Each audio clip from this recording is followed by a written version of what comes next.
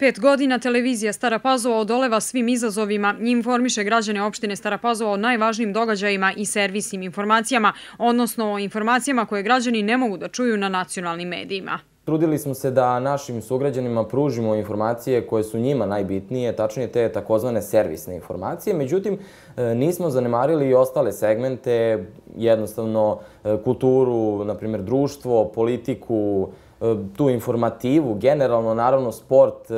To je nešto što jednostavno naše sugrađane E, koji žive trenutno u jednoj od privredno najrazvijenijih opština sigurno da interesuje. Svake godine u skladu sa svojim mogućnostima unapređuje i modernizuje opremu, a od danas program emituje i u 16.9 formatu. Trudimo se iz godine u godinu da pospešujemo i širimo e, ono što možemo da pružimo našim gledalcima, tako da smo za peti rođendan evo, prešli na format emitovanja 16.9, ali ćemo se naravno u narednom periodu truditi da E, negde ubacimo i taj neki omladinski deo programa, što do sada smo samo u nekim mahovima imali. E, naravno, negde ima još prostora, naravno, za napredak i sigurno da se nećemo zadovoljiti sa trenutnim stanjem. Televizija Stara Pazova je nakon privatizacije ostala sa znatno manjim brojem zaposlenim, što se nije odrazilo na kvalitet programa i broj emisija.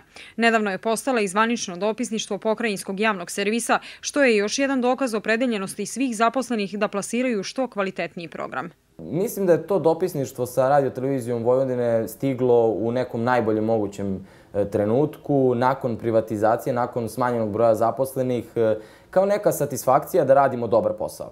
E, iskreno se nadam da tako misle i naši sugrađani koji nas e, prate. E, imamo dosta poziva, dosta ljudi nas ohrabruje. Naravno ima i kritika i Bože moj, ne bi bilo ni dobro da nas svi samo hvale. Te kritike jednostavno su i konstruktivne da unapredimo naravno naš program. Najvažnije je poverenje građana i sav trud koji zaposleni ulažu, ulažu upravo sa tim ciljem. Plan je da u narednom periodu radiotelevizija Stara Pazova postane lokalni javni servis, jer svaka opština koja je privredno jaka, kao što je opština Stara Pazova, zaslužuje da ima ozbiljnu televiziju.